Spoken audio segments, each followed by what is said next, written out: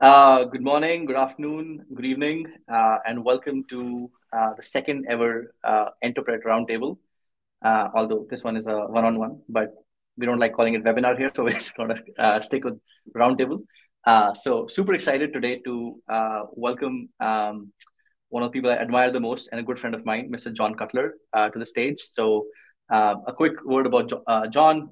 John is currently a product coach and evangelist uh, at Amplitude, which is a very famous and leading product analytics company that I'm sure all of you are aware of. John has been four years. Before this, John spent um, has spent several years as a product manager and UX researcher at companies like Pendo, Appfolio, and Zendesk. Um, but I think th- that's not what makes John special.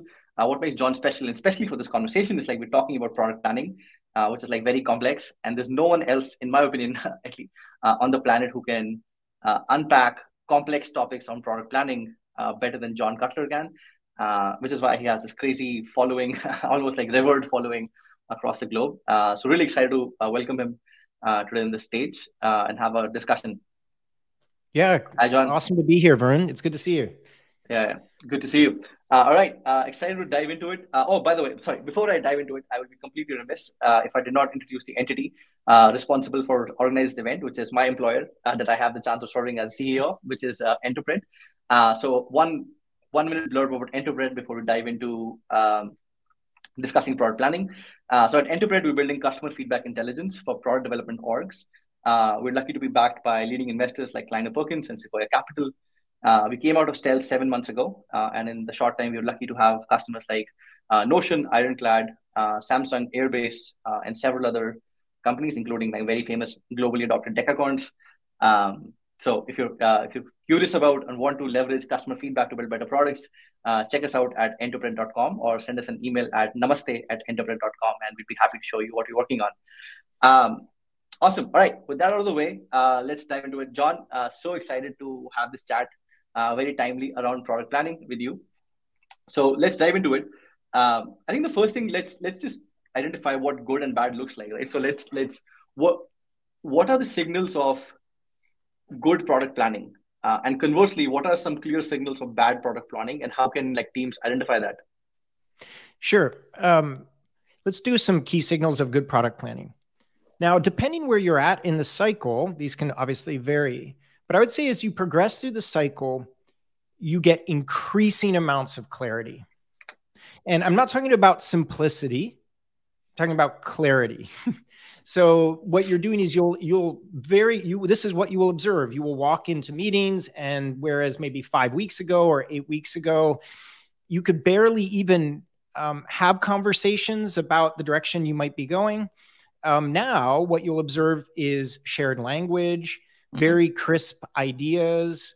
Um, people will use words that other people in the room understand. There'll be emerging ideas that there's some amount of convergence on. And there'll be what generally is known as coherence, right? So, coherence doesn't mean that everyone agrees by any means. But coherence is that you understand what people are saying. You have a shared set of assumptions that you might be challenging or going along with. So, this sounds like a you know throw your hands up in the air kind of thing but this is exactly what you observe as product as the sort of annual planning product planning process goes on when you're moving in the right direction now mm. when you're moving in the wrong direction what do you observe people are getting increasingly fatigued they're just saying F it they're just nodding their head um, it becomes a sort of political game as people realize that mm. sort of mm. budgets are at stake and things are happening yeah. you're getting increasing simplicity without clarity. So what I mean by that mm. is people keep trying to simplify the strategy. So the classic one is, you know, three pillars or a four up quadrant or something like that. And th- th- those artifacts are not creating shared understanding. If anything, they're just confusing people more and more as you're working. Another thing is you start to notice that people are very much buckling down around their local agendas, right? Mm-hmm. So you'll start yep. to see people, um, you know, you know, this person is basically showing up at a meeting with all their list of things that they want to get done and this person is you know showing up with this list with all those things i'll leave you with one final thing too is that one thing you observe when planning is not going well is the number of kind of oh shit what do you mean by that moments you know, where you finally take mm. what you have and then expose it to a slightly larger group of people. And mm. everyone, it's not even, um, it's not productive amount of tension, right? It's unproductive mm. kind of where did this come from? Why didn't I have any opportunity to provide any input on this? What are mm. you talking about? So I, I that's the way that I frame it. And again, it seems very abstract, but it's not. What we're trying to do in this planning process is create increasing amounts of clarity Whereas maybe over the course of the quarter or the year, that clarity is drifted a little bit or it's become more implicit and more abstract. So mm. that's the that's the trick. If you're getting more clarity by every week, as opposed to sort of more whatever, you know, 2023, just screw it, just get your PowerPoints in or something like that. like that's how you know you're making progress.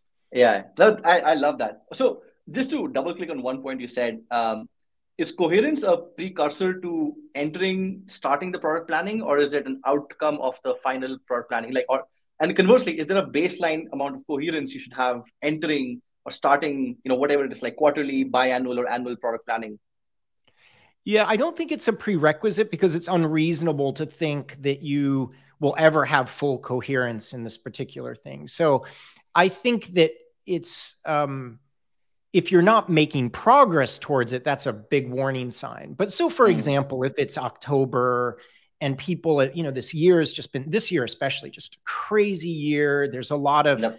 you know, people have been working to deliver stuff and test stuff and run experiments. It's natural at that point that the organization will have sort of shifted a little bit tectonically you know that like some some parts of the org are thinking this and the other parts of the org are thinking that and people are doing those mm. things so i don't think it's a prerequisite to start that particular process i do think what's important is reiterating the vision and mission of the companies like if you can't yep. even clarify those core things that's probably a signal that the uh, the leadership team needs to really get that little nugget set yeah. because if you yeah. can't go into the meeting and even understand maybe what game you're playing or what industry you're operating in or whether the core beliefs of the company have changed that's going to make it very difficult from that point but that's what i'd say is yeah. that's the minimally viable coherence yeah. do you understand kind of yeah. why you exist Yes. Um, you know, what are the core beliefs and can you say them? That's a good test to start the meeting, yeah. I would say. start yeah. the meetings as as if it's only one meeting. Oh. Yeah, as if it's only one meeting. Yeah, we wish. Yeah, yeah. we wish. Um, yeah, great. So I think uh, I love that. On on the topic of coherence and getting to clarity, I think um, unanimously what I've seen is like one, the multiple inputs that go into getting to the clarity, and uh, one of the you know unanimously desired uh, inputs is customer feedback and voice of the customer. Like hey how do we leverage how do we use that to prioritize what exactly decisions for uh, investments we want to double down on what we don't want to double down on? Um, so there's a desire to do that but uh, but not a lot of teams are able to effectively do that right? Like leverage voice right. of the customer in as an input in product planning and getting to clarity right? So how, how do you do it effectively? How what have you seen work well uh, in leveraging yeah. voice of the customer in product planning well i mean this started in January. so, I mean, the point here is basically if you do not have a continuous practice around feedback and voice of customer and putting these things into context, what tends to happen around this annual planning or product planning time is the absolute worst trap of recency bias. Whatever yeah. customers was yelling the loudest in November, in October or September, or you know whatever the trend you were seeing at this particular point, um, maybe sales is encountering a certain headwinds uh, at the particular moment. So you're going to hear a lot about that. And so what tends to happen is people just go hunting for what's going to support their strategy. They don't go with an open mind to the voice of customer.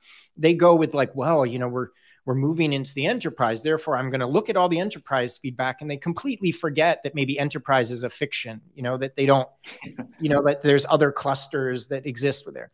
So the number one thing you can do is build this practice around voice of customer and interpreting customer feedback earlier in the year to prevent recency bias and then prevent like selection bias or cherry mm-hmm. picking the data to to believe what you mean. The second yeah. thing you need to keep in mind is is that I'm a big believer that as you start an initiative, a team should embark on doing research together and get very deep on a particular problem. That's not the same as keeping the pulse on the whole organization and the whole yes. bit of feedback. So what tends to happen is if that year you were focusing on X, you have a lot of research around X, but not Y, not Z, not A, not B, not C.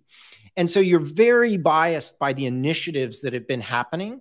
And then you get this kind of whiplash effect where the team is like, oh my god we don't have any research actually on this other problem oh quickly quickly quickly everyone go and yep. you know look at look at calls or do it very manually when you're beginning and that's why you know i like where your product fits into this particular part of the picture because you need to think of this as a muscle you're building all the time and you also need to think about doing feature oriented or initiative or bet oriented research so it's like the continuous hum and the initiative based at the same time. And if you do that correctly, you'll arrive at this time of year with some effective things. Now, so some very actionable things though, um, you know, one one super important thing is you kind of also get crystal clear on the different maybe you know your company might use personas or profiles or mm-hmm. segments or cohorts or anything but if you haven't evolved a cohorting or segmentation strategy before planning, it's very, very difficult to be doing both at the same time. It's very mm. difficult to be, you know, thinking about who your ICP is and who all right. these things are, while at the same time attempting to be able to form a strategy, while at the same time being able to think about tactics to be able to influence that. So it kind of that's part of the hum activity. You right. can't make strategy and persona development and profile development and segmentation as a once a year activity solely aligned with trying to pull a deck together or pull some planning document together.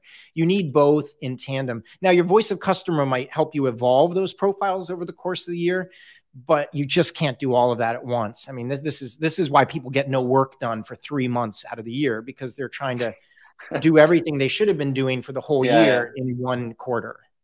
Yeah, yeah, and that, that makes a lot of sense. So I think just to like summarize, I think what your the key takeaway I got is like you need to have like a baseline hum of the, the core input side, which is like voice of customer and emerging trends, persona development around that, um, and then yeah. once that basically needs to establish like clarity and baseline al- alignment across all stakeholders who can then enter you know with what, what we talked about is like the minimum viable coherence uh, yeah. start and then end at clarity you know hopefully uh, in a couple of meetings after that or how much ever time it takes yeah and the way to think about this is um, here here's the tool i use and you can think about it by the quarter for the year there's always drift the team is always drifting away Yep. And you can do things that are very heavy handed to keep everyone aligned, but that's typically expensive and you don't actually want full alignment. Yeah. Because you don't get serendipity, you don't get innovation, you don't get other things when everyone is forced to align on every single thing they believe. You actually want to have things that are divergent. So unhealthy would be you go through the whole year like this. Now, mm. what happens in most companies by by the end of the quarter, everything is far apart and they barely bring it back a little bit. And then the mm. next quarter goes even further apart and they barely bring mm. it back in. And then they bring it very, very far apart and they bring it back in. And then you just jump into annual planning. So you could think of this if it helps visualizing it as there's a little bit of drift, bringing it back together. There's a little bit of drift, you're bringing it back together. There's a little bit of drift. And so that's, I don't know if that helps people think about like you don't want complete conformity. That would be dangerous. But at the same time, you don't want this like, annual mm-hmm. just by the you know and then the problem is by that is by september people are like screw it i don't want to make any decisions anyway because everything's going to just change in four months you actually yeah. get people make less good decisions after july because they feel that anything they do is a liability because it's going to get caught up in annual planning again Mm. And that's terrible. We don't want that. Oh, yeah, that's great. No, I, I, love that. Yeah. Oh, by the way, folks can continue asking questions in the chat. Uh, we, we leave like about five to seven minutes at the end for audience questions. So uh, I personally don't want to just hog all the time. So I would love to hear, uh, yeah. please enter your questions and we, we'll bring, bring them up on the screen as well. Um, I, I want to like switch gears slightly. I think um, I, this is like very topical, very real right now is um, product planning this year is going to be very different from any product planning, at least in the last decade, given uh, the very difficult macroeconomic headwinds, you know, especially in the technology sector, as we continue to witness this year. Uh, how how should teams adapt product planning uh, given given this environment this year? Uh, something they haven't had to do in the past decade. So, any any any thoughts on that, John? Yeah, I mean, I first thing it really matters now. It just can't be a political exercise. yeah right. you know like I, I think realistically for these last 10 years for a lot of companies whatever. It's just there's a lot of tailwinds and things have just been working. So it really does matter at this particular point.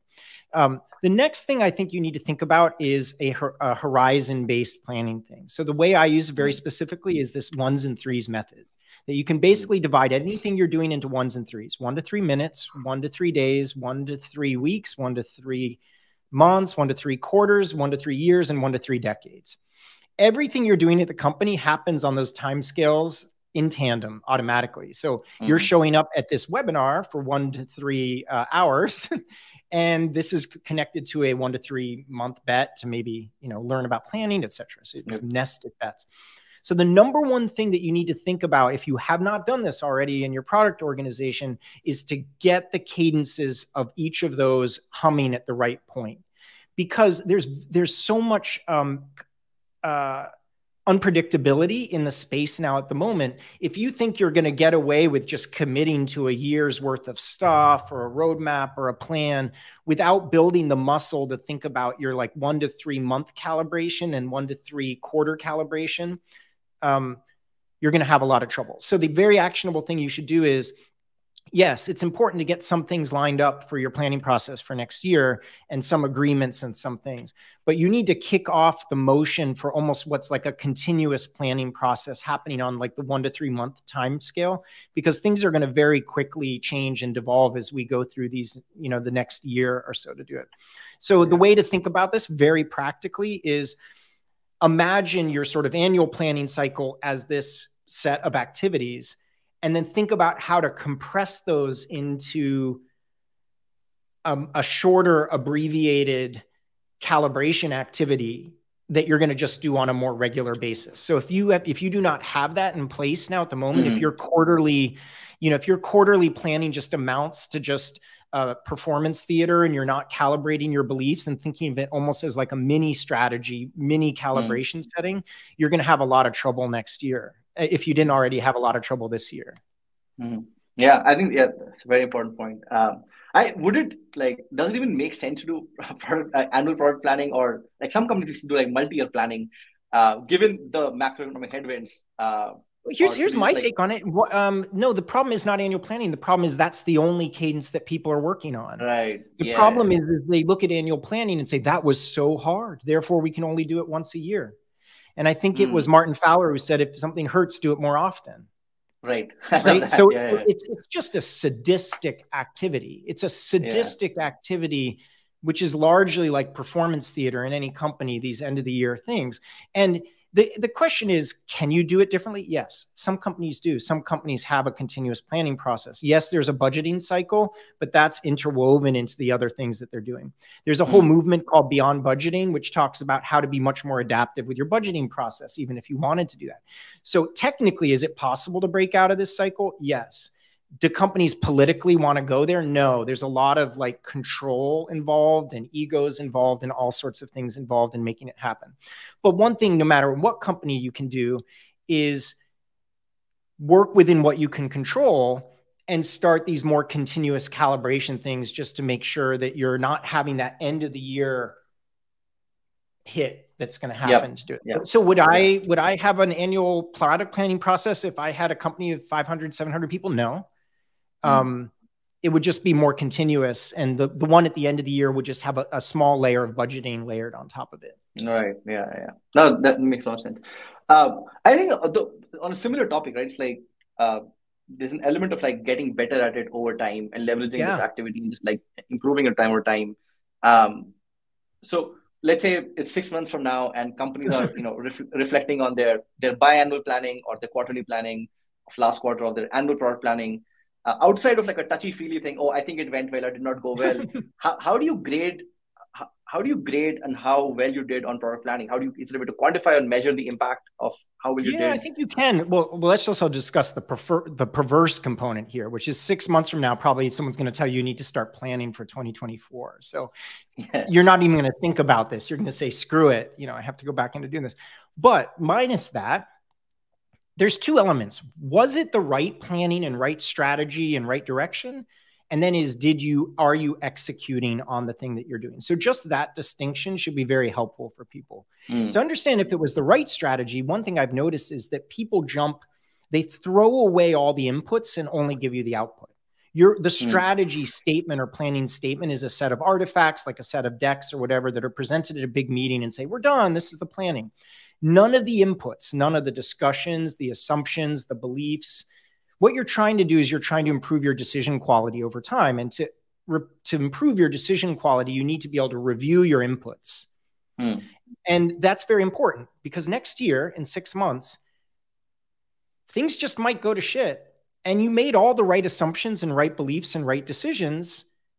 And therefore, I would argue that the planning process and the strategy process was good because mm. the inputs were right. It's just the macro factors made it very difficult to do that. So number one is to kind of measure what you're doing. Maybe it is a little bit hands in the air. The best bet is to do a retrospective about four to six months into the year, review all the assumptions and beliefs that went into this particular direction you're taking.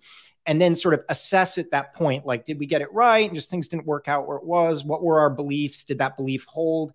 And that's probably, it is qualitative, but that's probably the most effective way you can do it.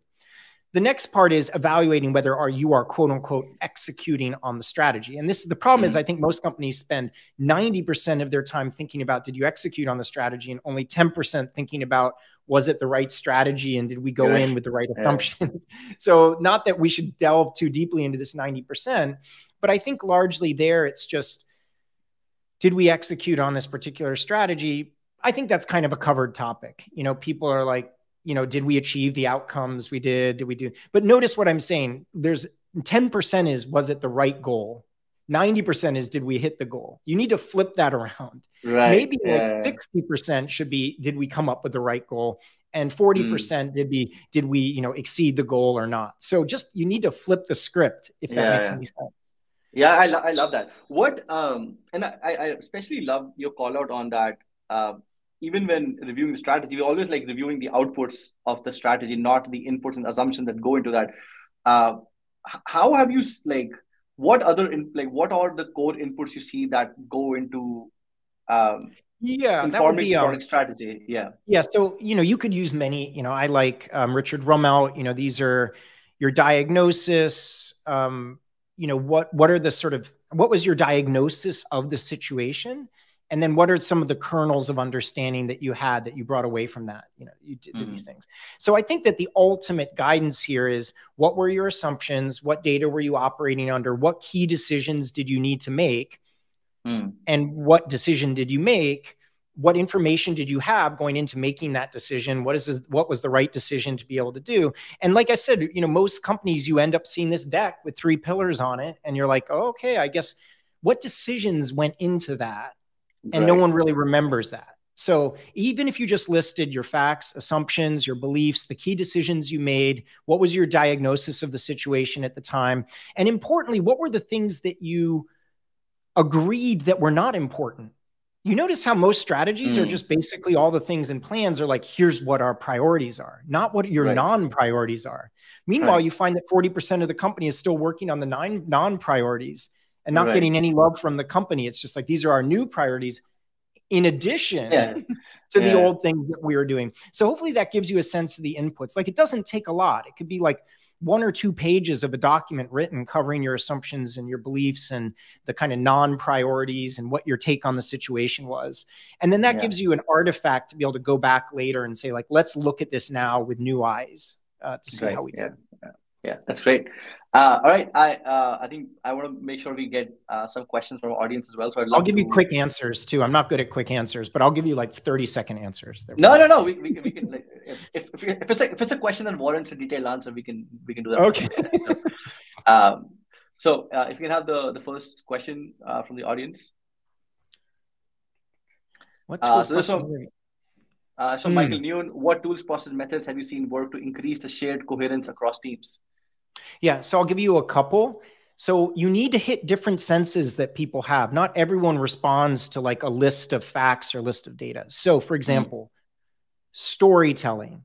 Can you tell the story of the vision you're trying to create? You know, that's very salient. Some people respond a lot to stories. So, an example there is, you know, by the end of the following year, what new stories do we hope to be telling about our customers and how they're using the product, how they're doing that particular thing? Um, second, um, crystal clear, non fluffy statements. So, hmm. you know, typically yeah. what happens is, is that someone's like, um, you know, delight our customers. And yeah. 70% of the people in the room are just like, and 30% of the people are like, yeah, yeah, delight our customers. So anytime you can unpack that, you do your team right. a huge favor by unpacking fluffy statements. Um, right. The third thing that I would say is, you know, obviously this is a classic one or pre-mortems. You know, you project yourself a year in advance. You kind of um, you you unravel the year as it progressed. What I would say as a general principle is to create shared coherence, you need to tap into people's different styles, different perceptions. Some people are solution oriented, and that's their superpower. Some people are more strategy oriented, and that's their superpower. Some people want to sit in and like clearly understand problems. That's their superpower. Some people don't want to worry about that too much and like love to operate, love to deliver. So when you're trying to create that shared understanding of the team, you can't just rely on one person's method for solving problems or for talking about strategy. You need to create, you need to embrace a lot of diversity in terms of yeah. how people approach these problems. The final activity you can do, which is the most fun, is um, there's two. You can ask the question to the team. Um, what are what are words that we use often that seem to just confuse people? Just that simple mm. question. And whenever I've done this activity with teams, they'll say quality, delight, minimally viable product, um, at, at, amplitude, you know, a late majority customers, just the word maturity, maturity. Yeah. You know, all these words confuse the crap out of people, yet we use them more and more and more and more. Yeah. So you could do that simple activity. But the cool thing is you decide on one of three things. One, we must agree on a definition. Two, mm. it's okay if we have different definitions just as long as we know what other people are thinking. And then the third is basically just trying to define it will take the life out of it. So mm. trying mm. to define quality is a losing game. Everyone wants to define it, but when you try to define it, you actually take the the the sort of the the variety out of it. So that's a, a clear activity you could do with your team to do it. Yeah. That's great. Uh, love love the the activity. I think I'm going to do it myself and end, end it. um, we're gonna have the next question up. Voice of customer. Just kidding. Um, right. yeah. that that's. Uh, are there any are concrete there... measures? Uh, are there any yeah. concrete measures you could suggest for judging quality of strategic inputs? I guess we should define quality here. So yeah. perhaps something like stating confidence uh, at the time it was made, and then looking at which ones worked out in comparison to your past confidence. That's actually yeah. I think you have the right track there. You're on the right track, and I think that this idea of stating things too with confidence intervals or other things are very interesting. So you'll notice that sometimes, you know, here's the classic example. I love they asked that question. You're looking at a slide and it's got three pillars on it and they all look the same. Meanwhile, one is an emerging bet. No one knows anything to do with it. Very, like, mm. very high confidence that an opportunity exists, but actually not a lot of confidence in terms of the confidence interval that you know how to solve it at that point. So, you know, the opportunity is big, questionable whether you can capture that opportunity. Right. The third statement on the slide is basically like the tried and true part of the business. We're going to run this every day. The trains are going to run on time. Very, very high confidence, but maybe the opportunity size is more known and smaller. So it's like this is reliably an eight um, it's or seven. It's not a ten, and we have a pretty good confidence that the world is going to continue running.